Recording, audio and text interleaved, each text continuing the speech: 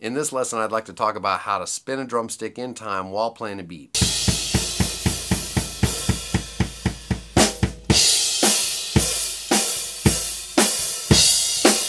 Your second finger, like the voice. Put the drumstick between the first two fingers to look like it's going around.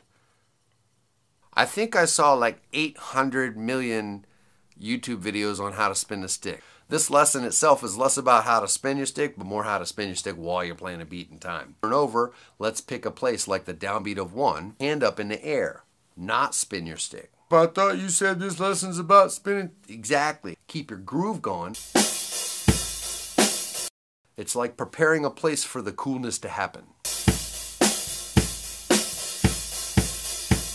Giving away a tell when you do this. Wrist a lot. And i think it i per i don't know.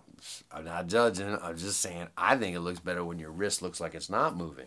My friends and i talk about that being like the drunk spin. Rock and roll crazy nights.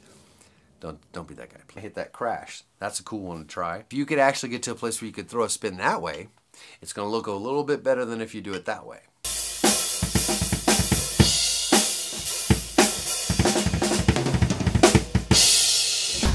non-stop. I'm up on the trick drums. Rock, they rock non-stop.